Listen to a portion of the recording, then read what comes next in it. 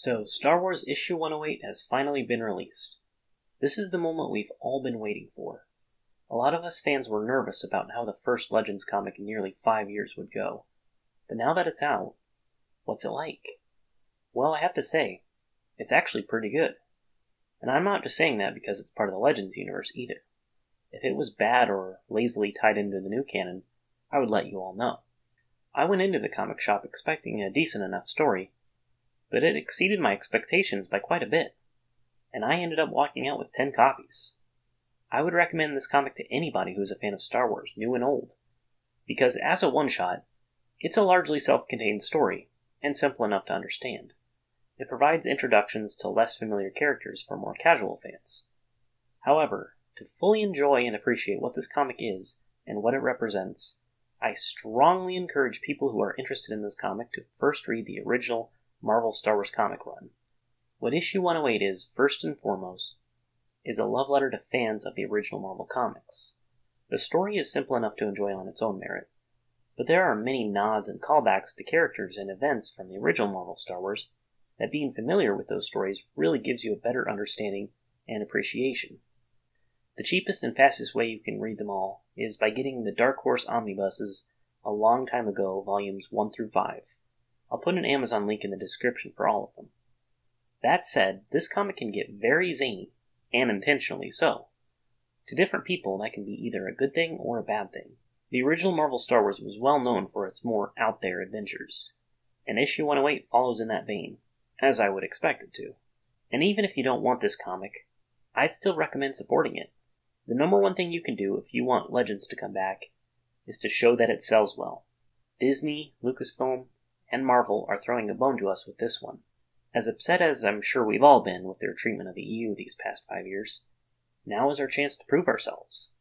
If we show them that this comic sells, we'll be more likely to see other stories in our continuity in the future.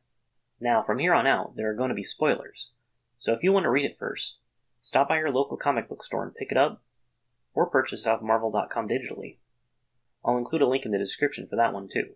I encourage you to pause the video, go read the comic, and come back here to hear my thoughts on it. It's $5.99, which is slightly more than a lot of single comic issues are these days, but it feels twice as long too, so it's very much worth the price. So let's start off with the covers.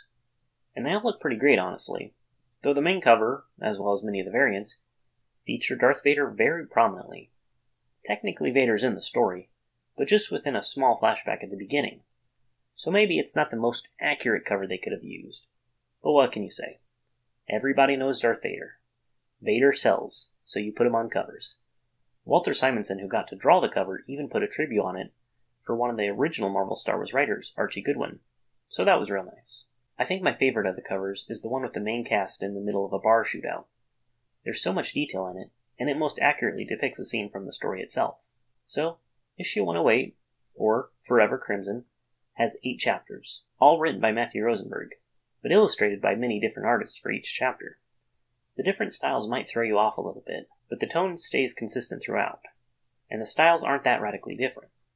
They all resemble the old Star Wars style, and you can even see the Ben-Day dots in the background of many panels, just like you would see on an older comic. The artists for 108 have all used them to make the comic feel like a classic comic book from the 80s, Though it doesn't perfectly mimic the classic style, I think it blends it in with how a lot of modern comics are drawn today. That's the best way I can describe it anyway. I also think the way the story is structured, how the dialogue is more expository, and just the general feel of the plot all feel like you're reading an original Marvel Star Wars comic. Matthew Rosenberg clearly did his research. Anyway, Chapter 1 The Legend of Valance the Hunter, which was shown off in the preview, opens up with a retelling of Valance the Hunter's story as it is told in the original Marvel Comics. He was a feared cyborg bounty hunter who despised droids because they reminded him of himself. When he saw C-3PO prepare to sacrifice himself for Luke, Valance is moved by their compassion for each other, and even defended them from Darth Vader, at the cost to his own life. Vader and Valance fought, but Valance is dropped into a pool of acid called Ruby Flame Lake. We then cut to the present, which I would estimate it as a little while after issue 107, where a group of scavengers are at Ruby Flame Lake looking for scrap, but they also pick up Valance's corpse by chance. When I read this in the preview, I was really excited, but I was super nervous too, because one of my first thoughts was, Is this just going to be a bunch of new canon characters discussing legends from the old continuity as if they were just stories that never actually happened? I'm very thankful that wasn't the case. In Chapter 2, Near Misses and Narrow Escapes, Han and Chewbacca are in a bar being hired by an alien named Slider, who is transporting a little plant to his boss. Unfortunately, the scum and villainy in the bar decide to go for the bounties on the three of them, and Slider gets killed in the ensuing escape. Once Han and Chewie get outside, they bump into their former colleagues in a few issues from the original Marvel Comics Jaxxon the Rabbit and Amaiza Foxtrain. Jaxxon reveals that they were trying to collect the bounty on Slider, who was actually working for Domina Tagge, an ex Imperial that once tried to spread a disease called the Crimson Forever, and then the four of them escape together. In the short Chapter 3, A Scavenger's Mistake, the scavengers from Chapter 1 are delivering the Durasteel they collected at Ruby Flame Lake to people who appear to be part of the New Republic. They even have a New Republic ship. They take the scrap along with Valance's corpse, but it's revealed that they are working for someone else, and we are left with the implication that the group of scavengers are killed off, so that there isn't any loose ends to whatever these faux New Republic soldiers are plotting. In Chapter 4, Old Worries in the New Republic, Leia is on the planet Noquivzor discussing how New Republic forces are stretched thin, right before being attacked by a top assassin. Something interesting to note about the planet Noquivzor if you read the X Wing novels, you may recognize this as the planet where Rogue Squadron was based out of before the recapture of Coruscant. The Zeltrons Leia are talking to are all from the original Marvel comics, too. Anyway, Leia subdues the assassin, but then Plif the Hoojib lets Leia know that the Millennium Falcon is badly damaged and crashing. But luckily, Luke comes in and stops it with Force. The group reconnect and determine that Domina Tagge must be up to something. Leia remembers how Domina Tagge tried to use ancient jewels to spread the Crimson Forever plague to get revenge for the death of her brother, and the last that she's heard of Domina was that she was in exile in a region that was having minor labor disputes. C3PO reveals that Dani and a New Republic peacekeeping force were all sent there to ensure that matters didn't escalate, but they haven't heard anything from them, even though they were due back days ago. In Chapter 5, For Fear of What Might Wake, Domina Tagge orders her men by hologram to bring her the Durasteel that they took from the scavengers. Suddenly, Valance's robotic corpse comes to life and massacres the crew of soldiers aboard.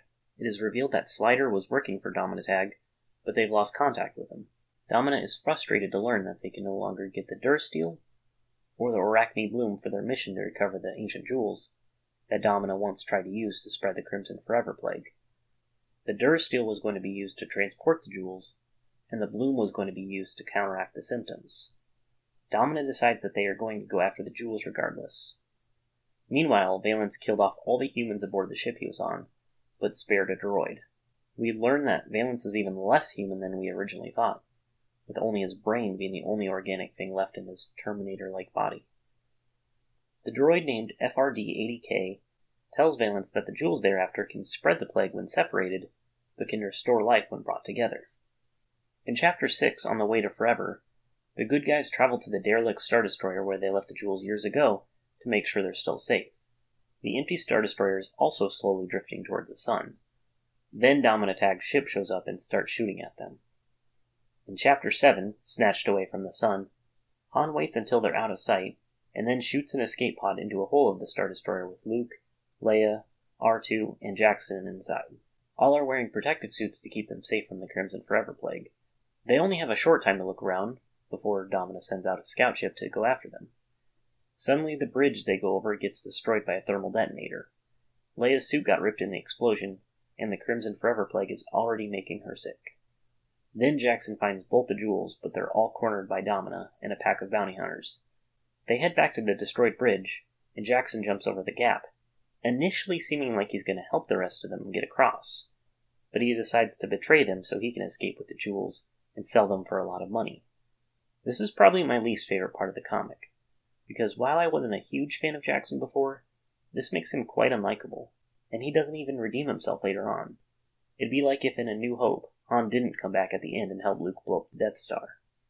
I'm not too upset by this, because again, I'm not a huge fan of Jaxxon, and it's not like he was ever a super heroic character to begin with. Anyway, Leia, Luke, and R2 make their own way back to the hangar, but Han alerts them that they have even more company. In Chapter 8, The End of the Hunt, Valance crashes the New Republic ship into the hangar and chases off Domina's bounty hunters. Jaxxon tries and fails to get the drop on him. Him and Luke reconnect, and Jaxxon gives him the jewels that he tried to steal. They take their effect on Valance, and his real human body seems to grow back over his metal one. Unfortunately, Domina shoots him, and then she shoots Luke, exposing him to the Crimson forever. And then she tosses one of the jewels into space, sealing both Luke's and Leia's fate. FRD shows Valance the same compassion that Valance showed him when sparing him, and sacrifices his power core to restart Valance's battery. Right before Domina stabs Leia, Valance stops her and takes the remaining jewel. Valance jumps out of the ship and is able to bring both jewels together, but at the cost of his own life. The gravity will pull him and the jewels into the sun, but by bringing the jewels together, he saves Luke, Leia, and the rest of the galaxy from the Crimson Forever plague for good. He dies, but he dies as a fully restored human. Like I said, this is a fantastic comic. It's the story I never knew that I wanted, and its publication might make people want to go back and read the original Marvel comics. At least I hope it does. I'm a fan of the old Marvel comics, and I still see some EU fans say this comic isn't a victory because it doesn't adhere to the EU from the 90s, kicked off with Tim Zahn's Heir to the Empire and the Dark Horse comics. The old Marvel was considered S canon or secondary canon. That's true enough, but so many elements of the comics get interwoven with the rest of the EU, where a certain character plays a huge role later, or a place or a planet or a species gets referenced somewhere else down the line. Let me be clear. If you are an EU completionist, or you are someone who wants more legend stories added to the timeline, it is a mistake to write these comics off, especially issue 108, because its success would lead to more legend stories in the future. Ones that you really do want to see, like Sword of the Jedi, War Force Unleashed 3, or whatever else. And in addition to my list of future stories I want to see added to the EU, I want Matthew Rosenberg to make issue 109. He's proven his love for Star Wars and the EU here, and I am seeing potential for more stories to follow 108. Leia talking about Nagai and Mandalorians fighting against the Tof Resistance was enough to get me excited. They mentioned how Dani, a character from the old Marvel comics, went missing, presumably killed by Domina's men. But I hope not. I hope she survived somehow and wasn't killed off panel. I want to see her come back for a future issue. Heck, Lumiya could even come back and cause more trouble. Maybe they could make more C canon references in issue 109 and chip away at the myth that the Marvel comics don't matter to the EU. If you want more creative freedom in Star Wars that doesn't have to connect with the new canon, and you want to take it a slightly wackier direction, the original Marvel Star Wars is your outlet. Yes, it's true. The EU could get weird at times. But That unexpectedness, that embrace of the wild side, is what made it fun. That's why I'm so glad the EU isn't just a retread of the original trilogy. Trying to constrain yourself to the movies, and only the movies, forever and ever, gives you bland, predictable plots, and Rebels versus Empire again and again and again. But at the same time, the EU still feels like I'm in the Star Wars universe. That creativity and that Star Wars feel is present in issue 108. And I couldn't be happier with how it turned out. And once again, I'm just happy that the people who always said, it will never happen, just give up, have been proven wrong. This comic is everything the EU movement has been campaigning for. Thank you, Lucasfilm. Thank you, Marvel. Thank you, Story Group. And thank you, Matthew Rosenberg, for making this comic possible. I really hope to see more legend stories in the near future.